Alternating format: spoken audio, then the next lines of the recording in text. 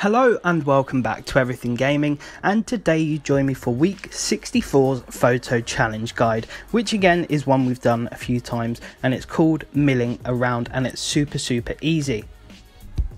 So it wants you to take a photo of your car with the Broadway windmill. So really nice and easy. Now the good thing about this is you can use whichever car you want. It doesn't matter. It doesn't specify anything. It's entirely down to yourself. Now, as this is footage that I have used before, I know that I'm going to use the BMW M2, but like I said, you can use whichever car you want. It really does not matter, it won't make a difference. Uh, you know, there, there's no sort of specific category of car to use. So, like I said, again, I'm using the BMW M2 Coupe.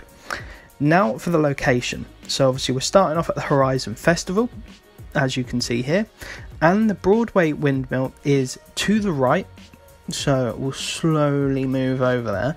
Um, so it's just down and to the right, and not actually in Broadway, but to the left of it, you'll see Broadway Windmill. So, of course, there is a danger sign there. There is also a beauty spot as well, so that's sort of how you'll know where it is. And of course, when you see it, you'll know exactly what it is. You can't really miss it. So all you have to do then is take a photo of your car with the windmill in the background somewhere and it will of course pop up with just one box literally saying contains your car and another box saying photo contains the Broadway windmill. So it's as simple as that.